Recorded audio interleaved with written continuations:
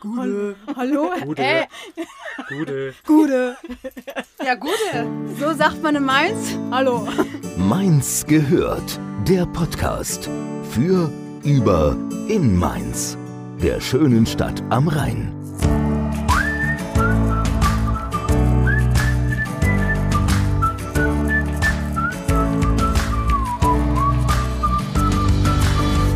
Hallöchen. Hallo. Ja, herzlich willkommen zu einer neuen Folge Mainz gehört. Ich glaube, so offiziell haben wir noch nie einen Podcast angefangen. Noch keine Folge. Oder? Stimmt. Nee, glaube ich auch noch nicht. Nee, dann fangen wir nochmal von neu an. Hallöchen. Gude. Gude. Man hört, wir sind nicht alleine in unserem kleinen Aufnahmestübchen mal wieder. Nein, das nein. ist richtig. Wir dürfen heute wieder zwei sehr spannende Persönlichkeiten begrüßen. Ja, die dürfen sich mal selbst vorstellen. Wie wär's denn damit? Ah, okay. Also, Gude, ich bin Bianca vom Kia 1 Team und darum wird es auch heute gehen, hauptsächlich, aber nicht nur. Ja. Ja, und ich bin Andreas, auch vom Kier 1 Team und manche Leute kennen mich in Mainz auch vom Impro-Theater. Impro-Theater, das ist auch ein spannendes Thema. Aber Kia 1, was ist das? Das gibt's noch nicht so lange, oder? Nee, äh, Kier 1 gibt's jetzt, vielmehr, es startet am 30.03. mit unserer Premierenveranstaltung. Kier 1 ist so eine, eine, eine Liebesgeschichte, kann man schon fast sagen. Oh. Wenn sich Menschen in Mainz bei einem Wein treffen, dann redet man miteinander und dann sieht man was und dann werden Ideen gesponnen und deswegen startet jetzt Kier 1 am 30.03. Ich weiß ja nicht, wann ihr ausstrahlt. Und das ist eine ganz tolle Geschichte in Mainz-Ebersheim. Oder? Ja, auf jeden Fall. Doch, auf jeden Fall, ja. Trifft zu? Es trifft zu und es war wirklich Liebe auf den ersten Blick. Oh, Ja. klingt schön. Das klingt wirklich schön. Beste Voraussetzung für was Gutes. Ich habe eine spontane Aufgabe für euch. Okay. Und zwar, wenn im Duden Kia 1 steht, was würde als Zweizeiler darunter stehen? Uiuiui. Weinselige kulturelle Veranstaltungsreihe. In Mainz-Ebersheim. Also es wäre direkt in Wikipedia steht es dann auch direkt in Mainz-Ebersheim demnächst drin. Es muss nur noch jemand reinschreiben. Kier 1 heißt ganz einfach Kultur im Römer 1. Ist ein ganz toller Saal in Mainz-Ebersheim beim Weingut Becker. Ja, und die Geschichte ist ganz einfach. Das war letztes Jahr beim Weinfest. Ich fange mal ganz einfach jetzt zu erzählen. Ihr Ja. sagt ganz einfach Ja. Stopp, wenn es zu viel wird. Start. Stopp. Start schon. Passt schon. Nee, auf jeden Fall, letztes Jahr war das Weinfest da im Dorf in Ebersheim und Bianca und ich, wir sind halt aus dem Bus ausgestiegen. Wir fahren immer hier durch die Ländereien mit den Bussen, weil wir auf öffentlichen Nahverkehr stehen. Das ist aber ein anderes Thema, da ärgere ich mich manchmal auch drüber. Auf jeden Fall kommen wir an beim Weinfest in Ebersheim, gehen zu diesem besagten Weingut Becker hin und auf Wir einmal, wurden hingezogen. Wir wurden hingezogen, so, ja, ja. mag ich. Also Ebersheim. Wir wussten nicht, wo wir hingehen sollen, wirklich. Und dann habe ich gesagt, nein, die haben einen netten Aufsteller, wir gehen jetzt links. Wir gehen in den Hof. Genau. Und dann saßen wir Ganz in dem spontan. Hof, saßen unseren ersten Shoppen und den zweiten Shoppen. Ich wollte auch gerne noch einen dritten Shoppen trinken, weil auf drei beiden kann ich bloß stehen bei den Shoppen. Und auf einmal hockte sich so ein, so ein lang, langer Typ neben uns, so ein bisschen lockige Haare und sagte, Gude, ich bin der Margot. Und Seid ihr schon Drogge? Seid ihr schon Trogge? Und da haben wir gedacht, okay. Gerade erst angefangen, hä? Ja, ja, ja, ja. Äh, Willkommen im Club der anonymen Weintrinker in Mainz. Äh, nee, er machte eine Anspielung darauf. Wir haben gedacht, okay, wer schwätzt uns denn jetzt von der Seite an? Ja. Und es lag ganz einfach dran. Er meinte, seid ihr schon trocken, weil wir halt ein Wochenende vorher bei der Johannesnacht gegoucht worden sind. Bianca geplant, weil sie gegoucht werden musste als Kommunikationsdesignerin da. Und jetzt nochmal schöne Grüße, falls du es hörst. Haro, Neuhardt, der Gouchmeister und Bianca. Hallo, unbekannterweise. Ja, ja. Haro. Haro könnt ihr dann wieder sehen bei der Johannesnacht, äh, wenn er dann wieder die Jungs und Mädels in die Bütt schmeißt. Auf jeden Fall haben die beiden dann ganz toll. Ich als Rheinländer durfte dann auch in die Bütt, weil sie hatte einen Wunsch frei gehabt beim Gouchmeister und sagt natürlich, naja, dann soll der Alte auch in die Bütt. Große Ehre. Genau. Auf das- jeden Fall. Ja. Das war die erste spontane Gouch-Aktion eigentlich. Sowas Ja. gab es eigentlich vorher noch nie. Nee, Wow. das gab's nicht. Das ist ja für, für Und das erste Paar, mehr oder weniger in der Bütt. Wow. War schon eine große Ehre. Auf jeden Fall. Auch für Ja. mich so. Es gab auch viel, viele Tränen. also, Aber die hat man ja nicht gesehen, ne? Nee, ist, eben, ist schon alles so. egal. Ja, Genau. das, und das war eine totale Ehre für mich nach 25 Jahren gemeinsam mit Margit Sponheimer, mit Margit ja. in der Bützeland. Also wir Genau, waren nicht wir waren- gemeinsam baden, aber sie hat ja auch die Ehrenbürgermeisterin. Wer war zuerst drin? Das ist die Frage. Margit. Margit. Oh. Ja. Margit. Danach habt ihr euch wochenlang Nie nicht wieder. Gewaschen. nie wieder gewaschen. Seitdem Man riecht es, oder? Das ist der Margit Odeur. Auch liebe Grüße an Margit. Ja, mag Die ich. ist auch ganz, viele ganz großartig. Ja, Ja. das stimmt.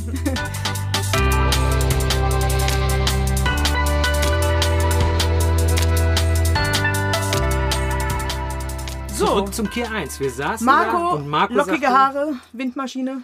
hockte Genau. sich vor und sagte, seid ihr schon wieder trocken? Und meinte dann zu mir so ganz jovial, jovial ähm, ah, wir kennen uns von Facebook. Sag ich, ja, okay. Und dann haben wir verglichen, wir waren seit zwei Jahren befreundet bei Facebook. Wunderbar nettes Gespräch. Und auf einmal sagte, darf ich euch was zeigen? Bianca und ich guckten sich War schon an. ein bisschen gruselig. War schon ein bisschen komisch, ne? Du kennst dich noch nicht und aus Ebersheim hört mir ja so manche Gruselgeschichten. Ne? Und äh, Komm, ich zeig den echten Hasen. nein, nein. ja, ja, einen echten Hase. Den Weinkeller, vielleicht auch ganz beliebt. Aber den, aber den Hase lassen wir heute außen vor. ja.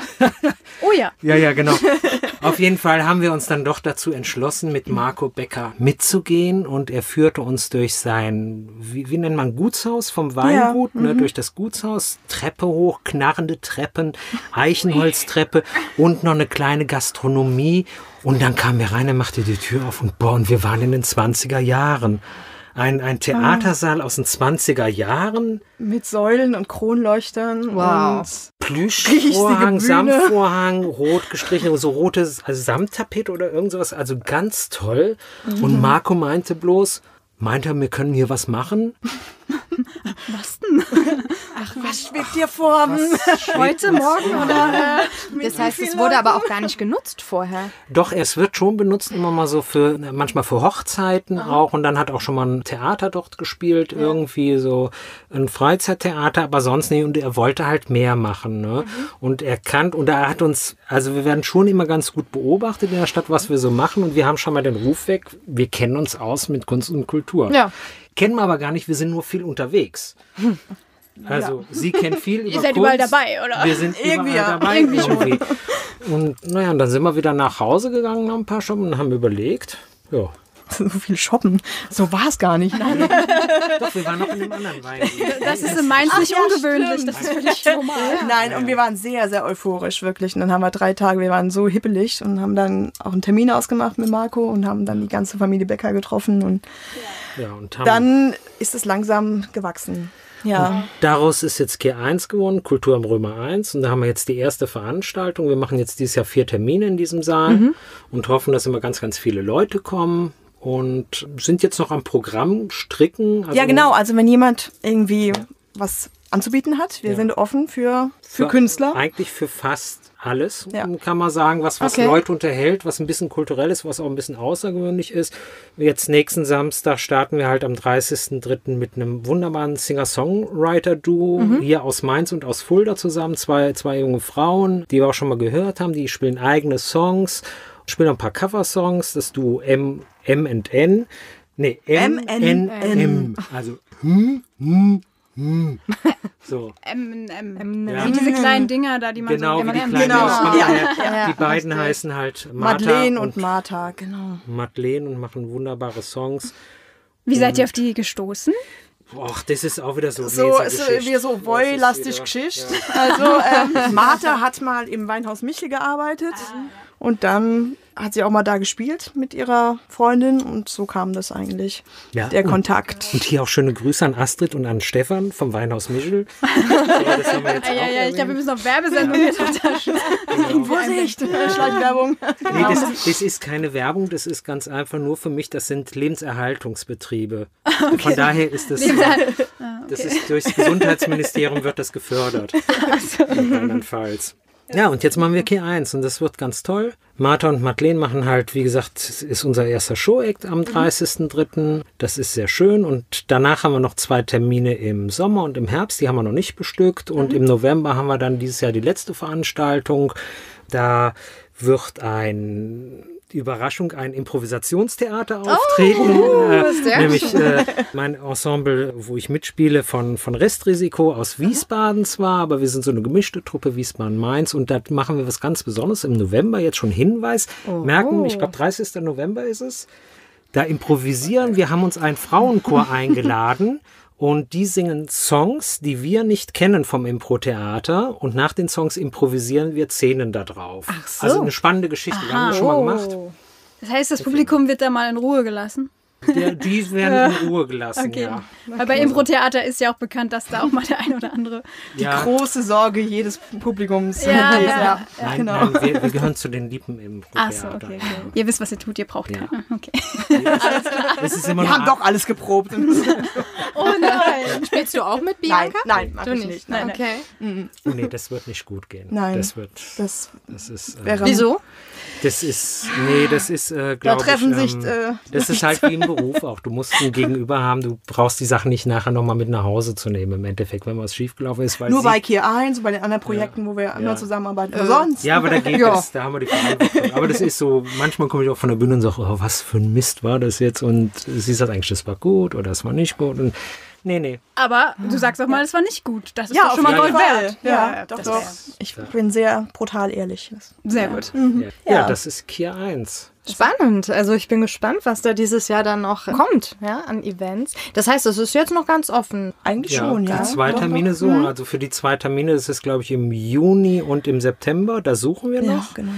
Also, wenn irgendjemand da draußen, der den Podcast hört, irgendwas Tolles hat, eine schöne Gruppe hat, Mhm. irgendwie, es kann Jazz sein, es kann Theater sein, es kann Kabarett sein. Also, wir sind da komplett offen.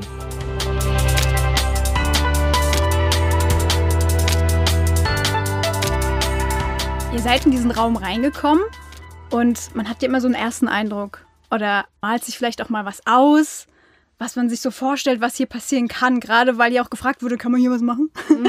was war denn so euer erstes Bild, was euch in den Kopf geschossen ist? Vielleicht jetzt jeweils unabhängig voneinander. Wenn ihr es noch wisst.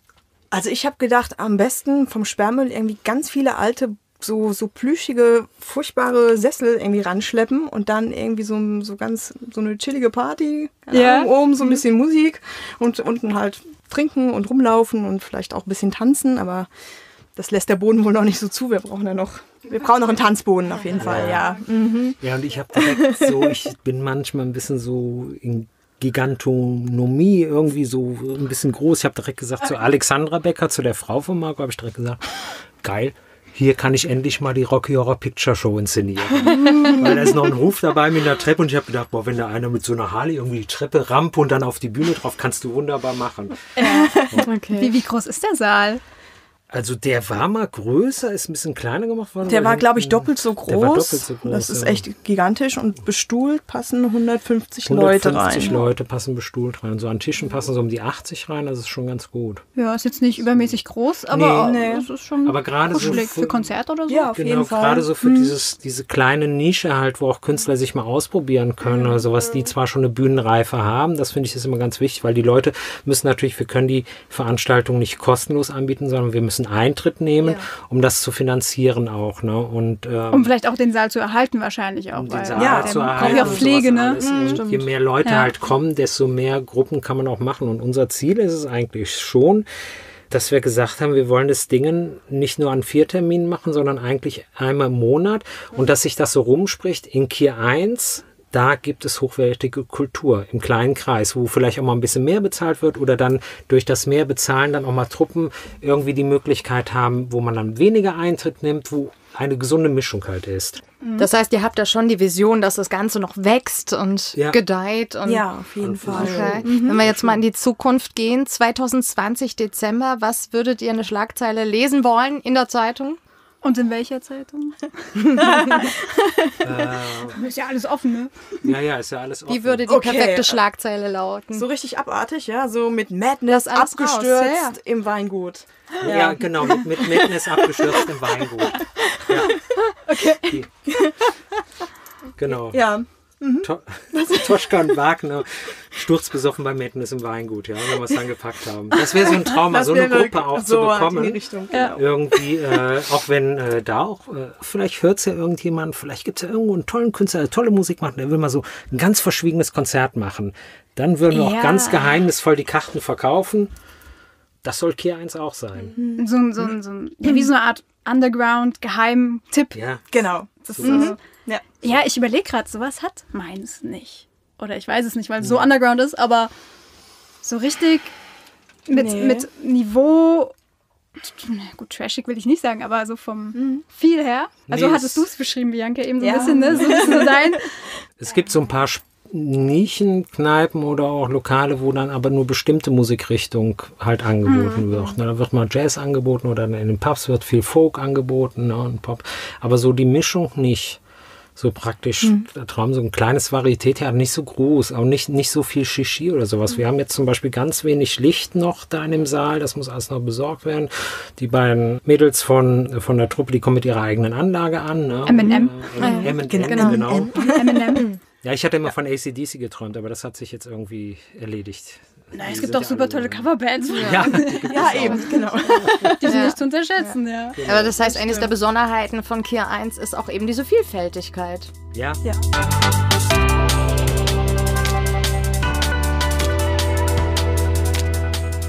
Erzähl doch mal. Was. Ja, du bist ja Künstlerin, genau. Ja, das genau. habe ich auch schon mitbekommen. Ja. Mhm. Wurdest gegoucht? Und ich wurde gegoucht, ja. ja. Gegouchte Künstlerin, ja. Ja, ich kann drucken, yay. genau. ja. ja, was kann ich erzählen? Was gerade so anliegt, ein ganz tolles, großes Herzensprojekt. Ich male mit einem 16-jährigen Jungen aus der Kinderonkologie. Und wir haben eine Ausstellung geplant. Wir kennen uns jetzt seit letztem Jahr November persönlich und haben in der Zeit uns mehrmals getroffen, haben zusammen gemalt, haben uns Aufgaben gestellt, haben Texte illustriert oder wir haben kleine Sätze ausgetauscht und der andere musste das eben dann irgendwie bildnerisch darstellen oder wir haben ein Bild angefangen und der andere macht es zu Ende. Ja, es war eine ganz, ganz spannende Begegnung oder ist es, weil wir sind jetzt total eng befreundet. Das ist Ach, total schön. schön.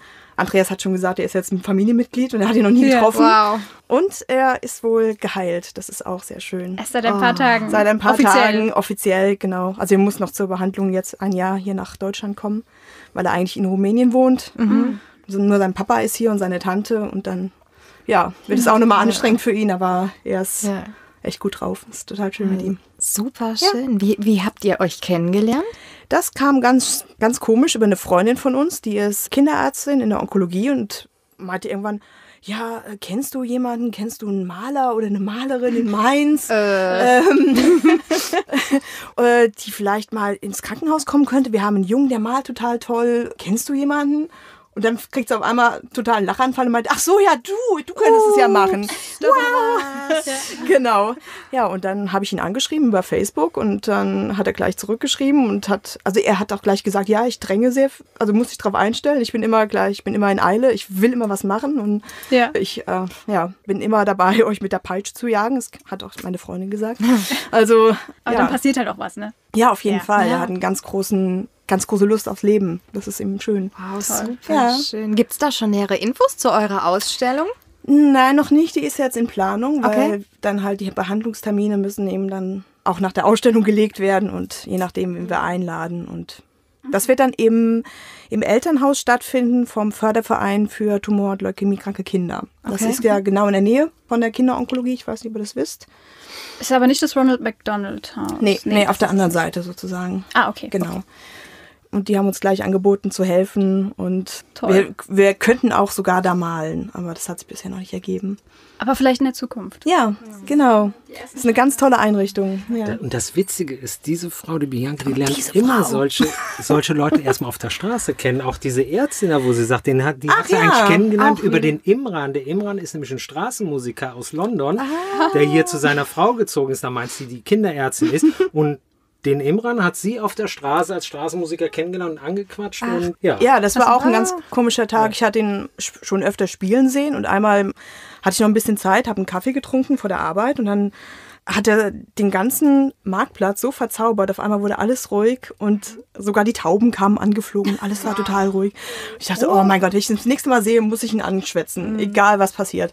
Und das war dann zwei Tage später der Fall. Und dann haben wir uns angefreundet irgendwie. Er wollte dann auch, ähm, oh Gott, jetzt geht's weiter zur Johannesnacht kommen, wo ich samstags, äh, nee, Quatsch, sonntags immer bei der Lesung der Stadtschreiber oder der Stadtschreiberin male, unterzeichne während der Lesung und das Bild wird dann für einen guten Zweck versteigert. Und noch eine Sache, die noch eine Sache, die wir dann gleich später noch. Da kommen wir nochmal drauf zurück. Später, genau. genau.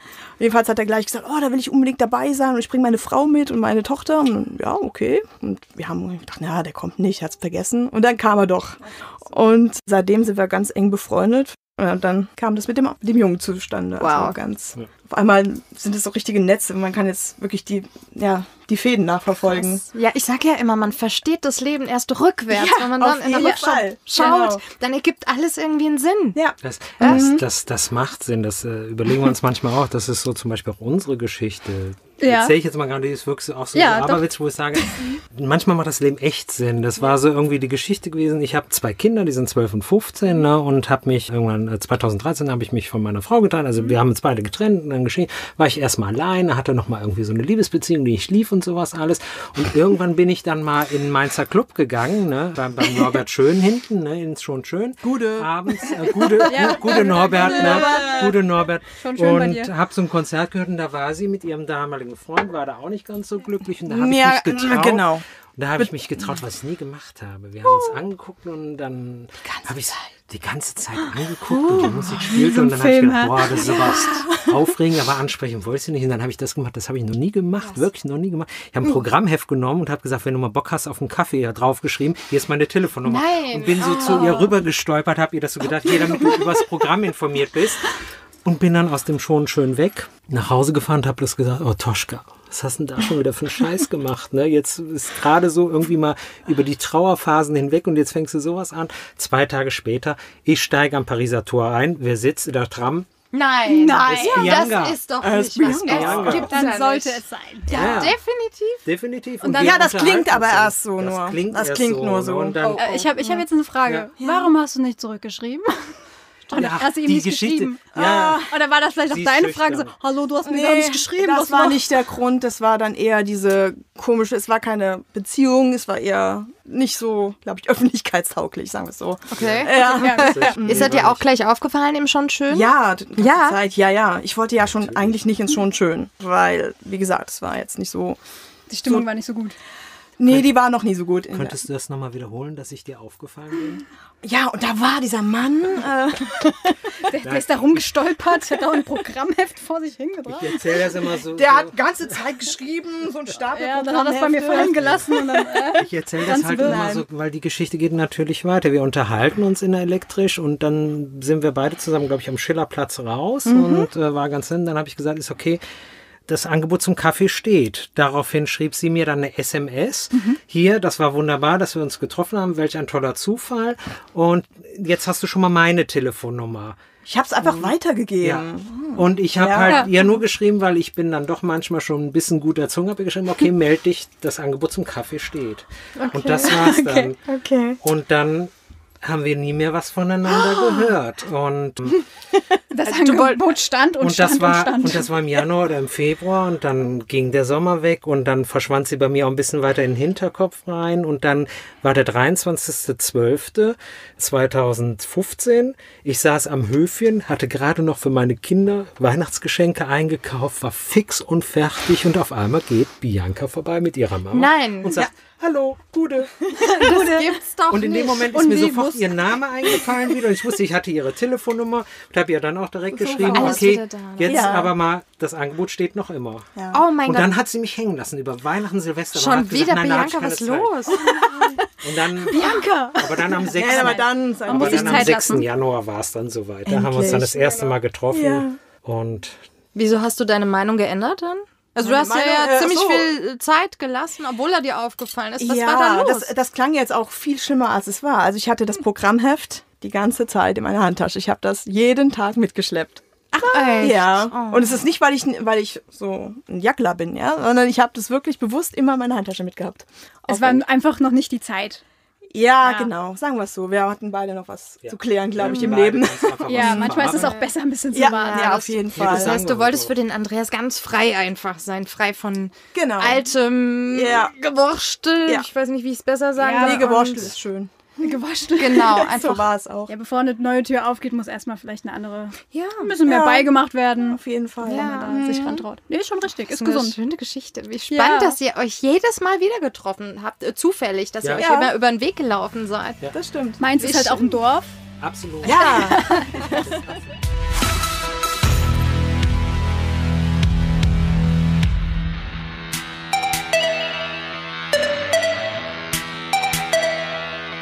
Also das war eine super schöne Geschichte von euch. Aber Bianca, du hast vorher noch ein anderes Projekt von euch erwähnt. Das heißt, ihr engagiert euch ja offensichtlich sehr gerne und tut Gutes. Ja.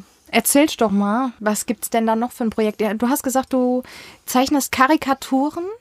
Äh, nee, Weil- ich, äh, zeichne, ich zeichne auch Karikaturen. Also wenn jemand Interesse hat, mache ich auch. Ja. Ähm, nein, also ich zeichne den Stadtschreiber oder die Stadtschreiberin bei der Lesung auf der Johannisnacht. Die ist immer sonntags um elf. Und meistens nehme ich dann Sachen aus den Geschichten, die sie vorlesen und verarbeite das in ein Bild. Dann gibt's auch immer noch das aktuelle Buch mit einer Zeichnung von mir, dann nochmal von der Stadtschreiberin oder dem Stadtschreiber. Genau, und das wird dann versteigert für einen guten Zweck. Und das ist immer eine sehr schöne, schöne Aktion. Macht immer sehr viel Spaß. Guter Zweck. Wer konnte davon, von den Aktionen bisher so profitieren? Falsche Mensch bei der ersten Lesung mit äh, Abbas Kida. Und dann ging es an den Förderverein für Tumor- und Leukämiekranke Kinder. Genau. Dieses Jahr sind wir noch auf der Suche, wenn irgendjemand ein soziales Projekt aus Mainz weiß, wofür es sich lohnt einzusetzen, was, was schön ist, was gut ist, was solide auch ist, wo man Geld hingeben kann, lasst es uns wissen, gerne. Weil ich muss immer dann, ich versteigere die Sachen immer sehr gerne von ihr, versuche viel Geld dann für ihre Kunst herauszubekommen für einen guten Zweck und es macht riesigen Spaß und du kannst was Gutes tun, das ist gut. Wichtige Frage. Wie kann man euch dann erreichen oder finden? Internet auf jeden Fall eingeben Bianca Wagner, da kommt ihr eigentlich direkt drauf. Bianca Wagner Mainz kommt ihr äh, noch direkt drauf. Oder ihr sucht Bianca bei Facebook unter Biva Design oder gebt einfach Bianca Wagner ein. Dann kommt ihr auch auf die Seite, auf ihre Kunstseite. Mich findet ihr auch im Internet unter Andreas Toschka.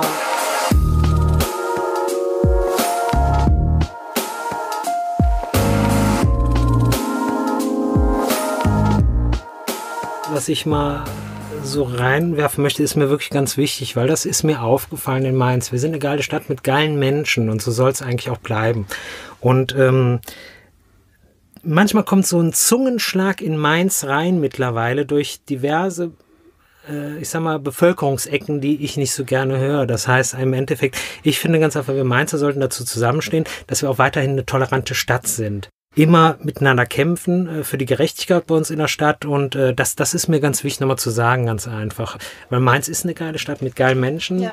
Es sind geile Menschen weggegangen leider, sind auch geile Menschen wieder dazugekommen und ich sage immer, Leute, die hier in Mainz stunk machen wollen, sollen doch bitte woanders hinziehen. Ja. Auch die nur alles schlecht reden wollen, weil Mainz ist schon, wir haben viele Probleme, wir haben Baustellen und sowas, wir haben Sanierungsstau, aber insgesamt muss ich sagen, haben wir eine der tollsten Städte, die es gibt, auch von Menschen her. Ja, und gerade diese ganzen Baustellen und so, die sind halt auch wichtig. Man muss es halt mal machen und Eben. danach hat man es aber schön.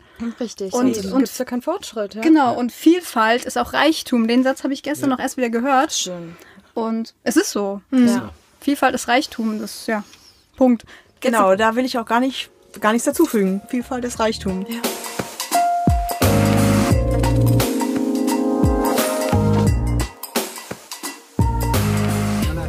Sollen wir noch aus. Ich habe heute habe ich wirklich die Eisbrecherfragen dabei. Ah, okay, dann Also machen wir Eisbrecherfragen bedeuten bei uns Fragen zum Schluss, was ja, Ja. unüblich ist bei Okay. Eisbrecherfragen. Aber bei uns ist das so. Und dann schlage ich vor, da wir heute ja zwei Gäste haben, ziehen wir heute zwei Eisbrecherfragen. Für jeden eine. Ja, ja. Ja, wer möchte denn anfangen? Ene, mene? Ich. Ja, die Bianca fängt mal an. So, du darfst mal her. Okay. So. So, wir legen jetzt Karten. Okay. Ah, cool. Mein letztes Fasnachtskostüm war Tiger. Ich war die Tiger. Und jetzt könnt ihr raten, wer die Tundra war. Ich war die Tundra fängt und mit hatte, hatte so eine wunderbare pinke Ente auf dem Kopf, ja. Ja, er war der Mann mit der pinken Ente und ich hatte einen Wald auf dem Kopf. Tiger. Ich wollte gerade fragen, wie sieht man denn als Tiger? Ziemlich gut. Hat auch viele Nerven und Zeit gekostet. Selbst geschneidert. Ja, immer. Immer. Das ist natürlich mein Anspruch, dass ich immer Ja, klar. mich äh, ab Weihnachten schon drauf vorbereite für, ja. Und wir waren beide sehr glücklich in Strumpfhosen, ne? Ja. Ich stehe dazu, dass ich an Fasnacht gerne Strumpfhosen trage, ja. War ein bisschen unangenehm dann äh, auf dem Weg zum Klo wahrscheinlich. Das heißt, ihr seid aber auch so Phasen nach der durch und durch. Nein. Nee, so teils, teils. Nein! Wir Nein! müssen uns Nein! selbst, selbstständig dazu überreden, aber dann schon, wenn wir auf der Gasse sind, sowas nicht übertrieben, aber wir Ja. sind schon mal ein bisschen unterwegs. Ja. Da macht es ja doch Spaß. Ja. Dann, ne? Ja. Die Dosis Genau. macht's wahrscheinlich. Ja. Also mir macht doch viel zu viel Spaß, das Kostüm zu machen. Und es wäre ja blöd, wenn man es Ja. dann nur in der Küche anhat. Obwohl, Geht auch. Äh, Social Media macht es ja möglich. Man kann es in die ganze Welt Ja, genau. austragen. Wir sind wieder unterwegs. Haha. genau. Im Web. Ja, dann machen wir jetzt mal weiter mit dem Andreas. Vermutung, Zweite Frage. Also, erste Frage für Andreas. Einzige Frage auch. Was erzähle ich? Ja. Also ich denke mal, da gehört ein was. Was möchte ich in meinem Leben auf jeden Fall noch machen? Mein Traum ist es, und jetzt bitte alle Reisebüros in Mainz hören, ich würde gerne einmal den Mississippi rauf und runter fahren. Da hätte ich Spaß dran. Mit einer längeren Übernachtung in New Orleans, gute Musik hören, das wäre cool. Das klingt Spannend. toll, ja. Was ist mit dem Rhein? Schon gemacht? Rein schon gemacht. Ah, okay, gut. Wenn Dann darfst du, dann darfst du. Können wir aber auch erstmal. Also, Erste Fahrt, Grundschule mit dem Bötchen der KD zum Drachenfels. Der Klassiker. Ja, der Klassiker. natürlich. Und mit Oma nach Königswinter. Ja. Haben wir noch was? Nee, nur die Lüge in meinem ein. Personalausweis. Mit der Die Lüge Größe. in deinem. Jetzt machst du uns aber neugierig. Erzähl mal. Nein, also da steht wie? 1,68 steht drin. 1,68. 1,68. Ha. Und die Nee, Wahrheit? Das kann nicht sein. Ja, genau. Das kann nicht sein. Die Ich Wahrheit 61. liegt irgendwo darunter. Aber die Frau meint, oh ja, das sind so 1,68. Ah, das passt schon. Ja. Mit dem Augenmaß oder was hat die? Ja, ja. Pi mal Daumen. So. Ja, passt. Aber Genau. jetzt, wo du es sagst, stimmt. Man gibt es ja, also ich durfte es selbst eintragen. Ja, du kannst alles reinschreiben. Ist Ich hab genial. da auch ein bisschen geschummelt. Du hast geschummelt. Ich hab geschummelt. Wie ja. groß bist du? Im Das sage ich nicht im Podcast. Nee, das laut. Ausweis. Nein, ich laut weiß, weil ich bin 1,60 und du bist kleiner als ich. in meinem Ausweis steht 1,64. Dann bin ich 1,70. Noch eine. Dann bin ich 1,70. Es ist ja eigentlich Blödsinn. Total, Blödsinn. Ja. Das ist auch lange her, dass ich das beantragt habe, das Teil. Kleine Menschen oder kleine Lebewesen leben länger. Wurde ist biologisch Siehst du? bewiesen. Also Ja. wir leben länger. Bei den Hunden ja auch so. Kleine Hunde. Ja. Ich wollte es nochmal anmerken. ja. Gut, dann ist es auch Dann geklärt. sagen wir gut. Ja, dann gut, dass er bei uns war. Gerne, hat gerne. Spaß gemacht. Viel Erfolg euch, hat es gute Sache. Gut für Mainz. Ja, euch auch. Und wir hoffen, dass Ebersheim mit euch jetzt und dem großen, großartigen Saal Ja, Ja. eine ganz, ganz tolle äh. Kulturstätte dazu ihr- gewonnen hat. Ja. Ich wollte gerade sagen, ich Ach so, ja, Meinung, wir gibt- sollten auf es, jeden Fall mal gibt eine, vorbeikommen. Das kann ich noch sagen. Es gibt natürlich auch bei Facebook gibt's eine eigene Seite Kier 1. Hier eins. Oder ihr gebt ganz einfach Internet kier1.de ein. Okay. wir verlinken es in den Show. Ja, Genau. Genau. Dann Perfekt. findet es jeder Dann hat gleich. es jeder für die Super. nächsten Termine. Ach so, was ich noch hab? Ja. Vielleicht Reichtum und Vielfalt und Bildung und überhaupt. Norok heißt auf Rumänisch Prost. Nurok? Norok. Norok, ja. Also wenn die anstoßen, wie Nurok? oder- Norok. Norok. Ja, genau, das war das Erste, was ich gelernt habe von dem krebskranken Jungen. Ah, genau. cool. Das ist das Wichtigste. Norok. Dachten wir auch, ja. Cheers. Und er freut ja. sich jetzt auf den ersten Wein, auf die erste Woi. Aber das ist schön, dann fängt für, für ihn noch ein bisschen mehr der Genuss an. Nicht nur wegen dem Wein. Also nein, auch. nein, aber, aber, so toll. richtig, genau. Also Norok. Ah, es freut mich so. Tolle Nurok. Geschichte. Ja. Na dann äh, sagen wir alle. Norok! Mainz gehört. Der Podcast. Für, über, in Mainz. Der schönen Stadt am Rhein.